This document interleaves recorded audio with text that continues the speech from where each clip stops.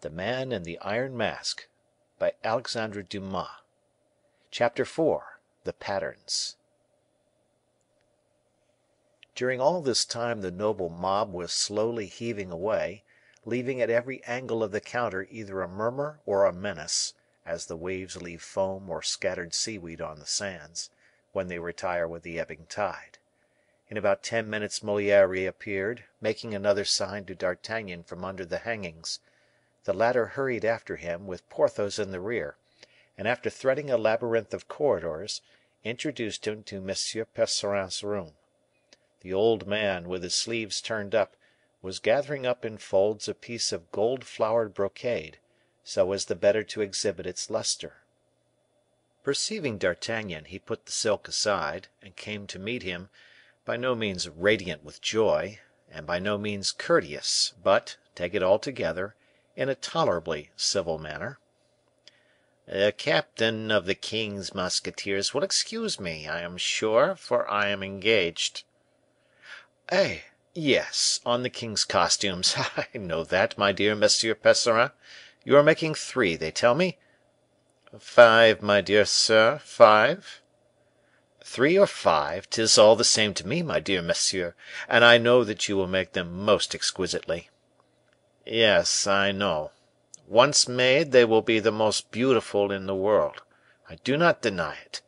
But that they may be the most beautiful in the world, they must first be made; and to do this, captain, I am pressed for time."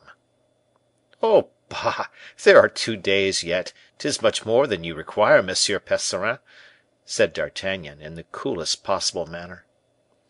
Percerin raised his head with the air of a man little accustomed to be contradicted even in his whims; but D'Artagnan did not pay the least attention to the airs which the illustrious tailor began to assume. "My dear Monsieur Percerin," he continued, "I bring you a customer." "Ah! ah!" exclaimed Percerin, crossly. "Monsieur le Baron de Vallon de Bracieux et Pierrefonds," continued D'Artagnan. Percerin attempted a bow, which found no favor in the eyes of the terrible Porthos, who, from his first entry into the room, had been regarding the tailor askance. "A very good friend of mine," concluded D'Artagnan. "I will attend to monsieur," said Percerin, "but later." "Later? But when?" "When I have time." "You have already told my valet as much," broke in Porthos, discontentedly. "Very likely," said Percerin; "I am nearly always pushed for time." "My friend," returned Porthos, sententiously, "there is always time to be found when one chooses to seek it." Percerin turned crimson, an ominous sign, indeed, in old men blanched by age. "Monsieur is quite at liberty to confer his custom elsewhere." "Come, come, Percerin," interposed D'Artagnan, "you are not in a good temper to day. Well, I will say one more word to you, which will bring you on your knees. Monsieur is not only a friend of mine, but more, a friend of M. Fouquet's." "Ah! ah!" exclaimed the tailor, "that is another thing." Then turning to Porthos, "Monsieur le baron is attached to the superintendent?" he inquired. "I am attached to myself," shouted Porthos, at the very moment that the tapestry was raised to introduce a new speaker in the dialogue. Moliere was all observation. D'Artagnan laughed; Porthos swore. "My dear Percerin," said D'Artagnan, "you will make a dress for the baron? 'Tis I who ask you." "To you I will not say nay, captain." "But that is not all; you will make it for him at once." "'Tis impossible within eight days." "That, then, is as much as to refuse, because the dress is wanted for the fete at Vaux." "I repeat that it is impossible," returned the obstinate old man. "By no means, my dear Monsieur Percerin; above all if I ask you," said a mild voice at the door, a silvery voice which made D'Artagnan prick up his ears. It was the voice of Aramis. "Monsieur d'Herblay!" cried the tailor. "Aramis," murmured D'Artagnan.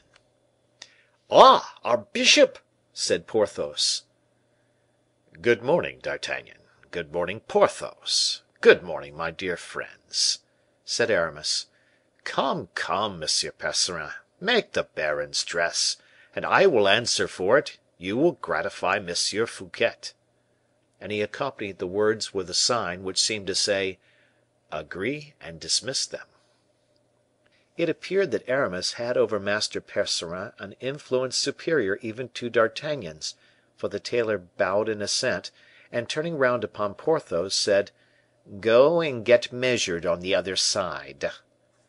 Porthos colored in a formidable manner. D'Artagnan saw the storm coming, and addressing Moliere, said to him in an undertone, "You see before you, my dear monsieur, a man who considers himself disgraced if you measure the flesh and bones that Heaven has given him. Study this type for me, Master Aristophanes, and profit by it." Moliere had no need of encouragement, and his gaze dwelt long and keenly on the Baron Porthos. "Monsieur," he said, "if you will come with me, I will make them take your measure without touching you." "Oh!" said Porthos. "How do you make that out, my friend?" "I say that they shall apply neither line nor rule to the seams of your dress.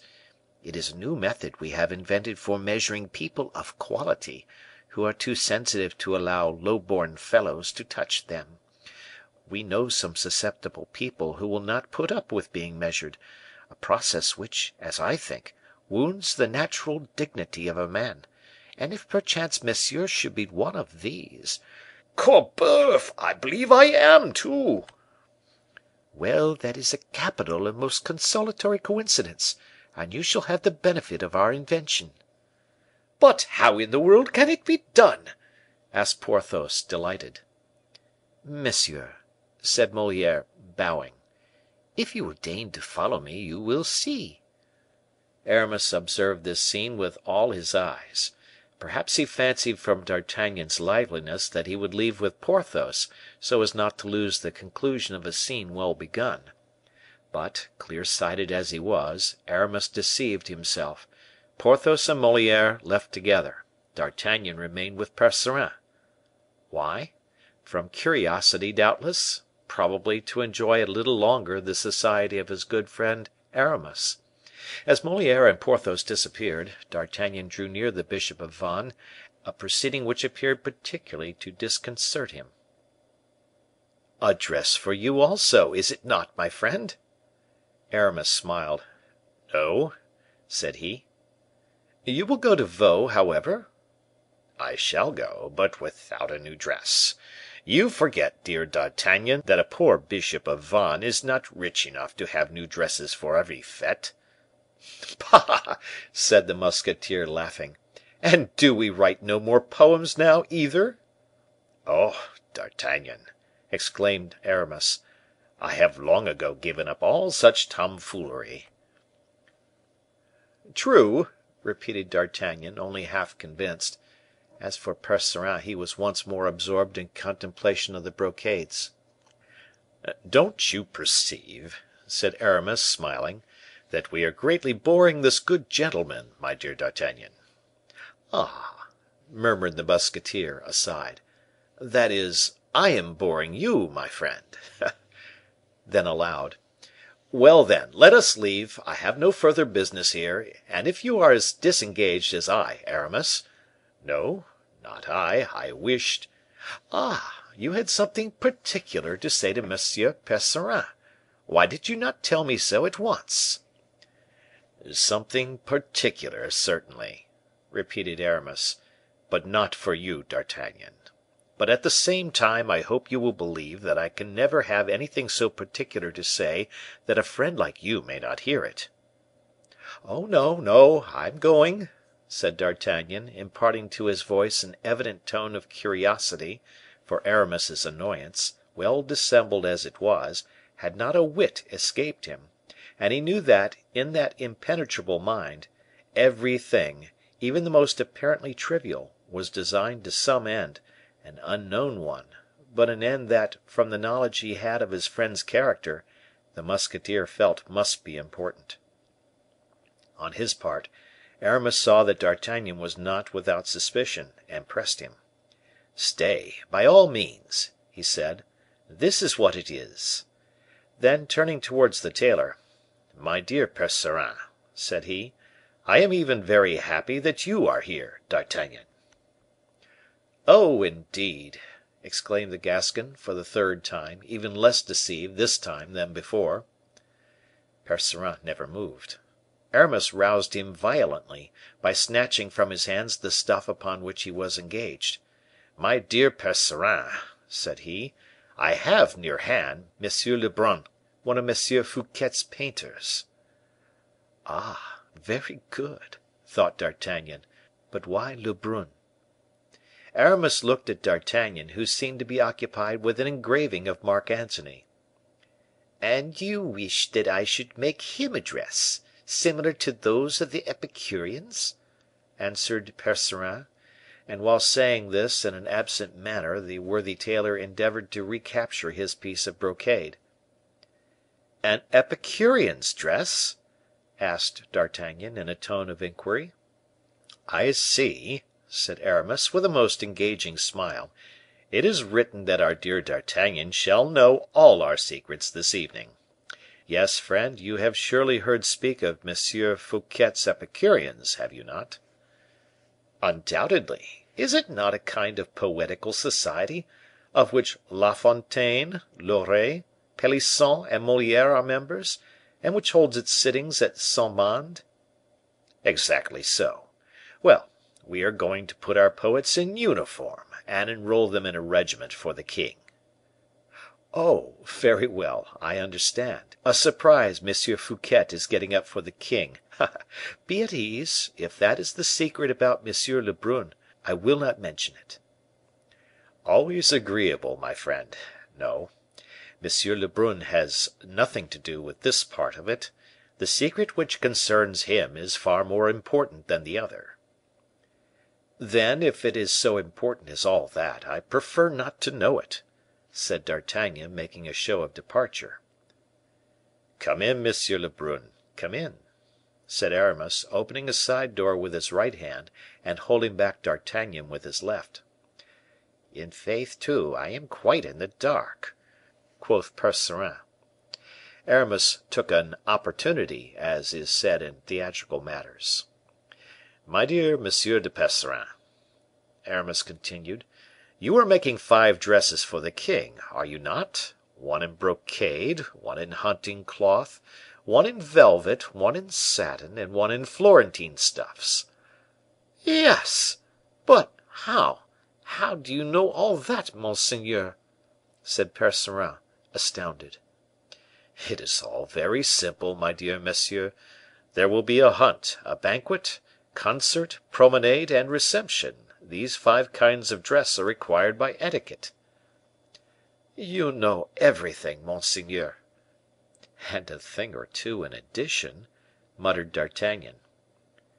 "But," cried the tailor in triumph, "what you do not know, monseigneur, prince of the church though you are, what nobody will know, what only the king, Mademoiselle de la Valliere, and myself do know, is the color of the materials and nature of the ornaments, and the cut, the ensemble, and the finish of it all."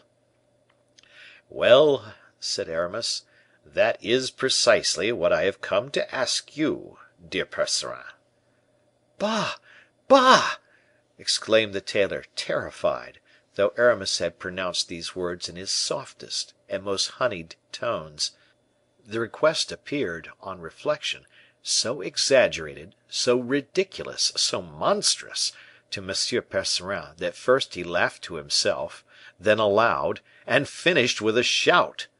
D'Artagnan followed his example, not because he found the matter so very funny, but in order not to allow Aramis to cool. "At the outset, I appear to be hazarding an absurd question, do I not?" said Aramis. But D'Artagnan, who is incarnate wisdom itself, will tell you that I could not do this otherwise than ask you this." "Let us see," said the attentive musketeer, perceiving with his wonderful instinct that they had only been skirmishing till now, and that the hour of battle was approaching. "Let us see," said Percerin, incredulously. "Why, now," continued Aramis, "does M. Fouquet give the king a fete? Is it not to please him?" "Assuredly," said Percerin. D'Artagnan nodded assent. "By delicate attentions? by some happy device? by a succession of surprises, like that of which we are talking? the enrolment of our Epicureans?" "Admirable." "Well, then, this is the surprise we intend. M. Lebrun here is a man who draws most excellently." "Yes," said Percerin, "I have seen his pictures, and observed that his dresses were highly elaborated. That is why I at once agreed to make him a costume, whether to agree with those of the Epicureans, or an original one." "My dear monsieur, we accept your offer, and shall presently avail ourselves of it. But just now, M. Lebrun is not in want of the dresses you will make for himself, but of those you are making for the king." Percerin made a bound backwards, which D'Artagnan, calmest and most appreciative of men, did not consider overdone, so many strange and startling aspects wore the proposal which Aramis had just hazarded. "The king's dresses! give the king's dresses to any mortal whatever! Oh! for once, monseigneur, your grace is mad!" cried the poor tailor in extremity. "Help me now, D'Artagnan," said Aramis, more and more calm and smiling; "help me now to persuade monsieur, for you understand, do you not?" "Eh! eh! not exactly, I declare." "What! you do not understand that M. Fouquet wishes to afford the king the surprise of finding his portrait on his arrival at Vaux, and that the portrait, which be a striking resemblance, ought to be dressed exactly as the king will be on the day it is shown?" "Oh! yes, yes," said the musketeer, nearly convinced, so plausible was this reasoning. "Yes, my dear Aramis, you are right; it is a happy idea. I will wager it is one of your own, Aramis." "Well, I don't know," replied the bishop; "either mine or M. Fouquet's." Then scanning Percerin, after noticing D'Artagnan's hesitation, "Well, Monsieur Percerin," he asked, "what do you say to this?" "I say that that you are doubtless free to refuse. I know well and I by no means count upon compelling you, my dear monsieur. I will say more, I even understand all the delicacy you feel in taking up with M. Fouquet's idea; you dread appearing to flatter the king. A noble spirit, Monsieur Percerin, a noble spirit!" The tailor stammered. "It would indeed be a very pretty compliment to pay the young prince," continued Aramis but, as the superintendent told me, if Percerin refuse, tell him that it will not at all lower him in my opinion, and I shall always esteem him only " "Only?" repeated Percerin, rather troubled. "Only," continued Aramis, "I shall be compelled to say to the king you understand, my dear Monsieur Percerin, that these are M. Fouquet's words? I shall be constrained to say to the king, 'Sire, I had intended to present your majesty with your portrait, but owing to a feeling of delicacy, slightly exaggerated perhaps, although creditable, M. Percerin opposed the project.'" "Opposed!" cried the tailor, terrified at the responsibility which would weigh upon him. "I to oppose the desire, the will of M. Fouquet when he is seeking to please the king! Oh, what a hateful word you have uttered, monseigneur! Oppose! Oh, 'tis not I who said it. Heaven have mercy on me! I call the captain of the musketeers to witness it. Is it not true, Monsieur d'Artagnan, that I have opposed nothing?" D'Artagnan made a sign indicating he wished to remain neutral.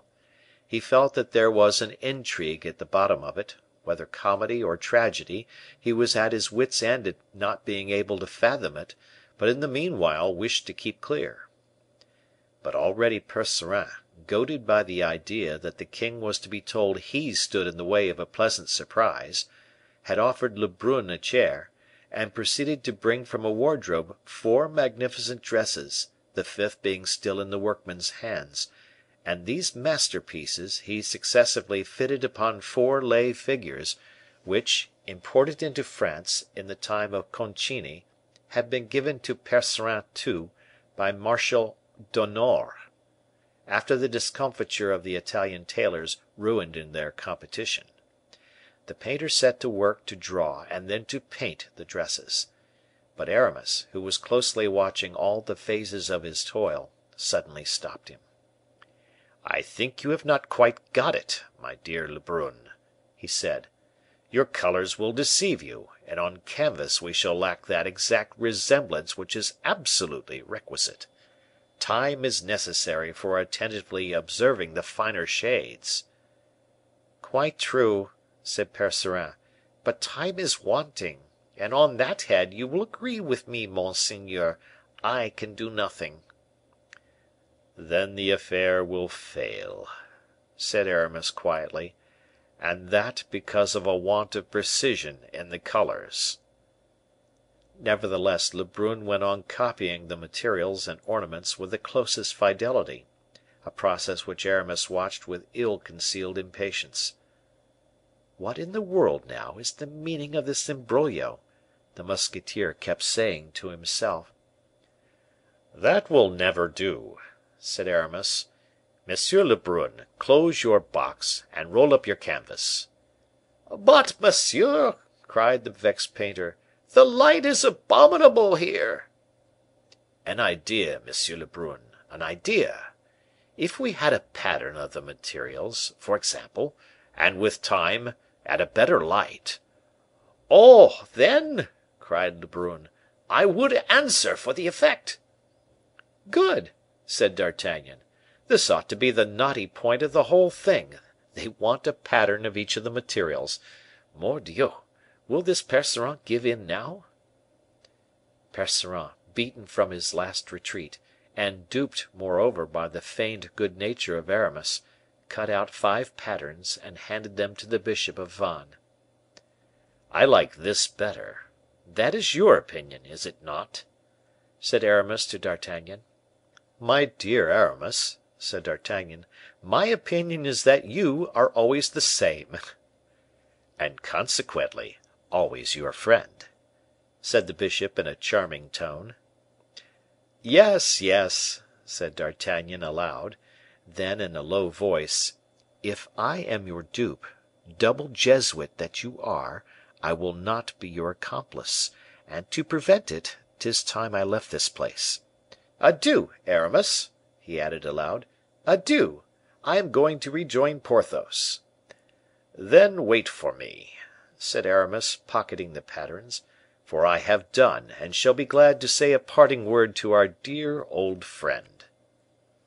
Lebrun packed up his paints and brushes; Percerin put back the dresses into the closet; Aramis put his hand on his pocket to assure himself the patterns were secure, and they all left the study.